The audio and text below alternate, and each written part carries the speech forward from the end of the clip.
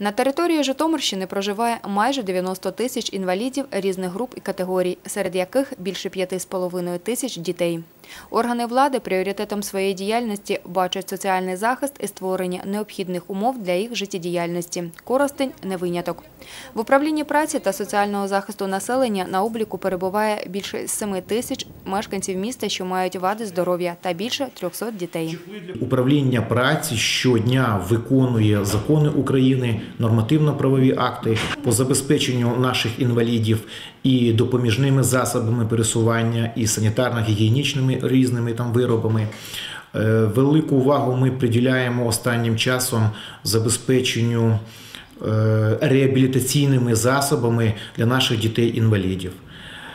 Е, Велика робота проводиться по виготовленню спеціального взуття нашим інвалідам. Це і зимове взуття, і літнє взуття. Велика увага приділяється по забезпеченню виготовлення різних таких, знаєте, протезів. За останні два роки в нас немає проблем забезпечення наших інвалідів е, інвалідними візками. У нас 100% забезпечення і робота продовжується, так як лю- люди набувають інвалідність. Кожного дня йде оформлення.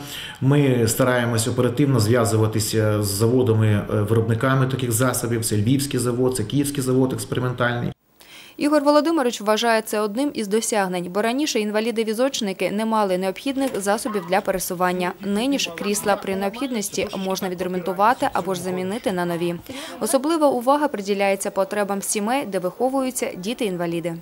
Для дітей-інвалідів з вадами там, ДЦП, з іншими там синдромами ми виготовляємо е, шведські стінки теж спеціальним обладнанням і приладдям для е, розробки е, позвоночника, для розробки там ніжних кінцівок і таке інше. Проведена велика робота по е, переоформленню е, підгрупи А і підгрупи Б для інвалідів е, дитинства. Е, Ви знаєте, що пенсію або соціальну допомогу е, таким групам людей виплачує управління праці до 18 років. Після 18 років такі особи переходять в управління пенсійного фонду. Е, В цьому році на виконання соціальних ініціатив президента України збільшилась в рази допомога, е, які мають інваліди, які мають підгрупу А. Я хочу подякувати безумовно е, управлінню охорони здоров'я, тому що всі питання, які пов'язані з соціальним захистом е, інвалідів, ми виконуємо разом. Слід зазначити, що для дітей-інвалідів відкрито центр реабілітації «Джерело надії», де малюкам та їх батькам надають медичну, соціальну та психологічну допомогу. Щодо оздоровлення, то у санаторіях пройшли лікування 80 осіб, що мають інвалідність. Воно триває 45 днів. Велика робота проводиться управлінням праці і по забезпеченню інвалідів автомобілями. Минулому році видано, я не можу сказати багато це чи мало, але видано 6 автомобілів. Е, Два автомобіля е, оформлено як гуманітарну допомогу, але проводиться робота по е, оформленню документів на постановку в чергу. Це вагомий процес. Постановка в чергу, оформлення документів через ДАІ, через спеціальні медичні комісії, але саме головне поставити наших людей в чергу. При постановці в чергу на отримання спецавтотранспорту наші інваліди е, відразу получають, отримують відшкодування на е, пальне, відшкодування на ремонт транспортних засобів і інші там е, інші допомоги.